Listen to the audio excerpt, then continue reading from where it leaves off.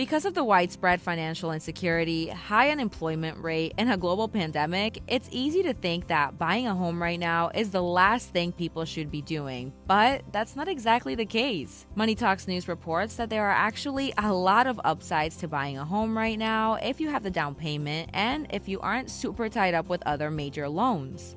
Interest rates are really low right now, and mortgage rates have also continued to fall, according to the New York Times. Plus, with a little negotiation, you may even be able to knock a few thousand dollars off the home price itself. Real estate agents say they're actually really busy right now, despite everything going on and despite the limited inventory. And if you're worried about protective measures, I would say that at this point in the pandemic, everyone knows the guidelines they need to follow and the things they have to do to keep people safe.